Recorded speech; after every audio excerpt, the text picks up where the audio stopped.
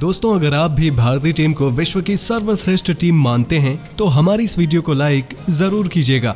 दोस्तों, भारतीय टीम श्रीलंका के खिलाफ टेस्ट सीरीज़ खेल रही है, जहाँ भारतीय टीम पिछले कई मुकाबलों में चाहे वनडे हो या फिर टी या फिर टेस्ट लगातार बेहतरीन प्रदर्शन करती हुई नज़र आ रही है।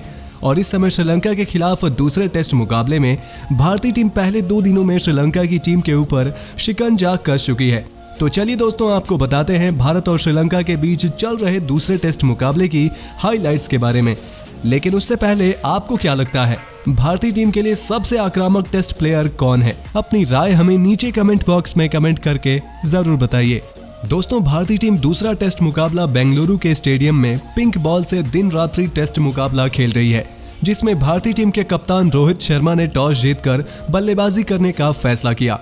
और पहली पारी में श्रेयस अय्यर के बानवे रनों की पारी की बदौलत भारतीय टीम दो सौ बावन रन बना पाई। इसके बाद श्रीलंका की टीम बल्लेबाजी करने के लिए आई, जिसने पहले दिन छियासी रन पर ही छह विकेट गिरा दिए थे। और जब दूसरे दिन का खेल प्रारंभ हुआ तो छह ओवर के अंदर ही श्रीलंका की टीम ऑल आउट हो गई।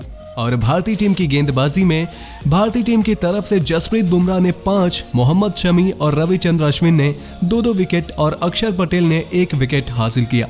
और इसी के साथ भारतीय टीम के पास 143 रनों की लीड मौजूद थी।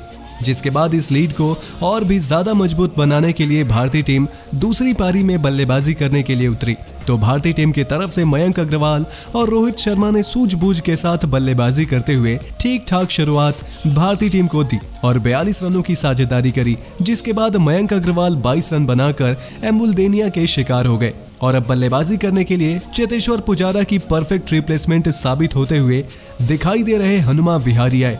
और हनुमा विहारी ने रोहित शर्मा के साथ मिलकर बहुत ही सूझबूझ के साथ बल्लेबाजी करी और अर्धशत की साझेदारी के साथ छप्पन रनों की महत्वपूर्ण साझेदारी करके दिखा दी। और रोहित शर्मा के 46 रन की पारी के बाद रोहित शर्मा और हनुमा विहारी की साझेदारी टूट गई।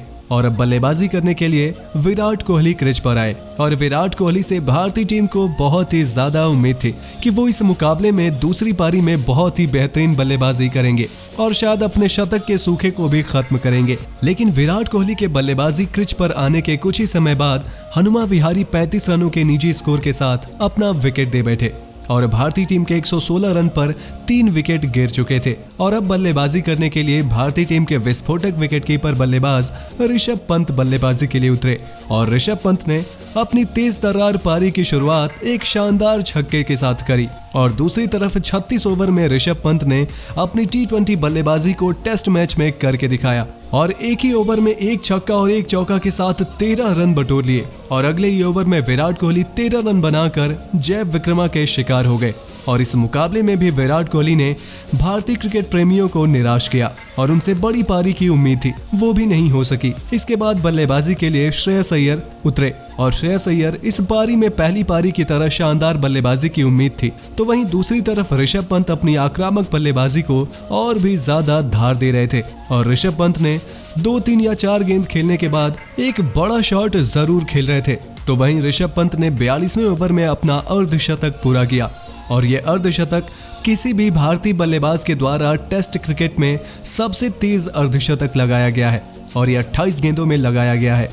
और इससे पहले यह रिकॉर्ड कपिल देव के नाम था, जिन्होंने 40 साल पहले 30 गेंदों में टेस्ट क्रिकेट में अपना अर्धशतक जमाया था। और अर्धशतक लगाने के तुरंत बाद ऋषभ पंत 50 रन 31 गेंदों पर सात चौके और दो छक्के की मदद से बनाकर आउट हो गए।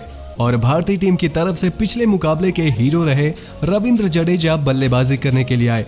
और दोनों ही बल्लेबाजों ने शानदार बल्लेबाजी का परिचय देते हुए एक शानदार अर्धशतकी साझेदारी करी, जिसे देखते हुए लगने लगा कि भारतीय टीम इस मुकाबले को जीतने में अपना पूरा योगदान दे रही है और जीत के करीब पहुँच चुकी है। और अभी तक भारतीय टीम ने छप्पन ओवर के अंत तक दो सौ सैंतीस रन, पाँच विकेट के नुकसान पर बना दिए हैं।